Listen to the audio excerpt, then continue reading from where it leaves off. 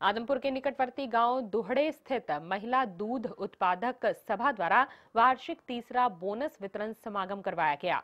इस मौके पर विशेष अतिथि के तौर पर मिल्क प्लांट जलंधर के डायरेक्टर बलविंदर कौर ने शिरकत की। इस अवसर पर दूध उत्पादकों को जागरूक कर, बेहतर व गुणवत्ता युक्त दूध सप्लाई कर सभा ने अपना विश्वास कायम किया।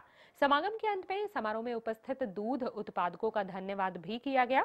इस मौके पर प्रधान बलविंदर कौर, उप प्रधान जोगिंदर कौर व समूह कमेटी के अन्य सदस्यगण भी मौजूद थे ਸਾਡੇ ਨਗਰ ਨੇ ਪਤਵੰਦਿਆਂ ਸੱਜਣੇ ਬਹੁਤ ਮਿਹਨਤ ਕਰਕੇ ਤਕਰੀਬਨ ਸਾਡੇ ਪਿੰਡ ਦੇ 70 75 80 ਲੋਕ ਜਿਹੜੇ ਇੱਥੇ ਸਟੇਡੀਆਂ ਜੁੜੇ ਆ ਇਸ ਲਈ 6-7 ਪਿੰਡ ਜਿਹੜੇ ਆ ਇਹ ਸੈਡੀ ਦੇ ਨਾਲ ਜੁੜੇ ਹੋ ਆ ਜਿਹੜਾ ਮਿਲਕ ਪਲਾਂਟ ਸਾਡੀ ਆਪਣੀ ਗੱਡੀ ਜਾ ਇਕੱਠਾ ਕਰਕੇ ਇੱਥੇ ਲਿਆਉਂਦੀ ਆ ਤੇ ਬਹੁਤ ਜ਼ਿਆਦਾ ਵੱਧ ਤੋਂ ਵੱਧ ਇਹ ਪ੍ਰੋਫਿਟ ਐਸੇ ਜਾ ਰਹੀ ਆ ਪਿੰਡ ਦੂੜੇ ਵਿੱਚ ਇਹ ਤੀਸਰਾ ਸਮਾਰੋਹ ਵੰਡ ਬੋਨਸ ਦਾ ਹੋ ਰਿਹਾ ਆ ਜਿਸ ਵਿੱਚੋਂ ਮਹਿਮਾਨ ਸ਼੍ਰੀਮਤੀ ਬਲਵਿੰਦਰ ਕੌਰ ਪ੍ਰਧਾਨ, ਡਾਇਰੈਕਟਰ ਮਿਲਕ ਪਲਾਂਟ ਜਲੰਧਰ ਵਜੋਂ ਸ਼ਾਮਲ ਹੋਏ। ਸਭਾ ਨੇ ਸਾਲ 2013 ਅਤੇ 14 ਵਿੱਚ 442584 ਰੁਪਏ ਦਾ ਸ਼ੁੱਧ ਮੁਨਾਫਾ ਕਮਾਇਆ।